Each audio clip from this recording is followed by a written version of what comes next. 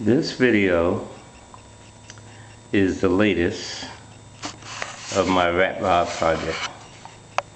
As you can see it has a Chrysler grill from a 300 based on a the cab is 1947 Studebaker M5 headlights M5 it's going to be built on a S10 chassis. Whoop.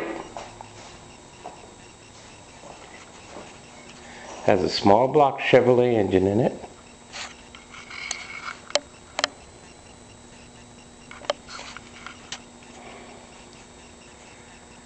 And I'm in the process of just making it crazy.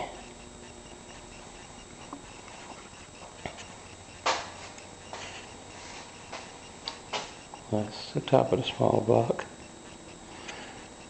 Hand-built firewall. Actually everything here is hand-built. I'll zoom around the shop a little bit here. I've got a wall full of headers over here and eventually they will be cut up and used to make some zoomy exhaust. And again, a little more perspective on what's going on here.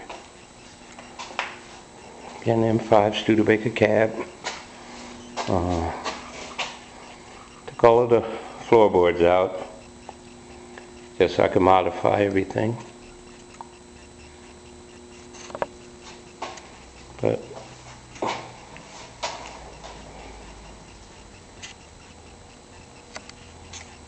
and it has a S10 chassis, which is very long now, but the plan is to cut it off and make it shorter. Move those wheels up to about right there behind the cab. And I think we have a pretty sharp looking little hot rod going here.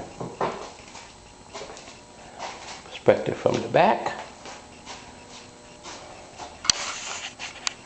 Again, a lot of stuff to do, but that's the general idea.